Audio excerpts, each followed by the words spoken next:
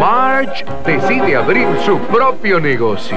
Aquí tiene, pretzels gratis del carro de pretzels. Una mordida y se convierte en adicto. Gracias. Merci. No le hables, es extranjero. Y los pretzelazos no se hacen esperar. ¡No hagan eso! ¡Para eso no era! Pero Homero decide ayudarla. Marge necesita ayuda y Dios sabe que yo no puedo dársela. Pero yo sé quién sí puede. Homero, ¿le pediste a la mafia que eliminara a mis competidores con golpizas salvajes e intentos de homicidio? ¿Con esas palabras? Sí. Los Simpson.